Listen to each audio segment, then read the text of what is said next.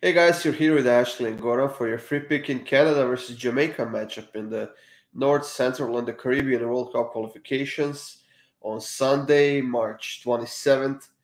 Ashley, Canada still at the top of the table. They failed to beat Costa Rica uh, just a few days ago, but in this game, a point is enough for them even to mathematically secure the the spot in the World Cup this year.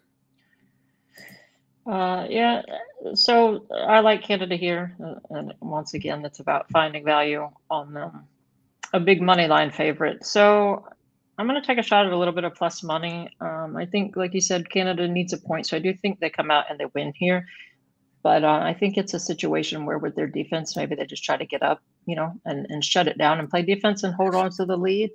So I'm going to take a shot at Canada uh, money line and under three and a half at plus 105.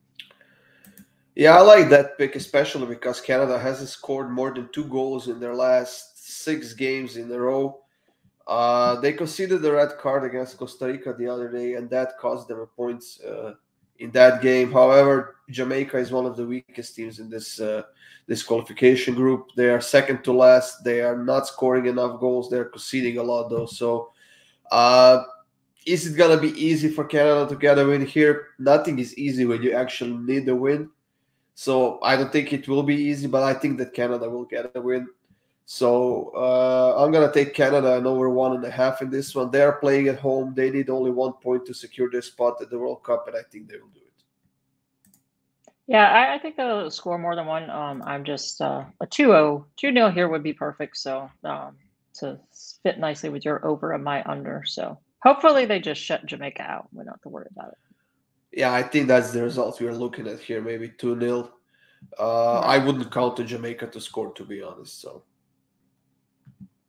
there you have it, guys. Canada's defense is pretty solid, so we shall see. Yeah. That was your free pick in Canada versus Jamaica matchup in the North, Central, and the Caribbean World Cup qualifications on Sunday.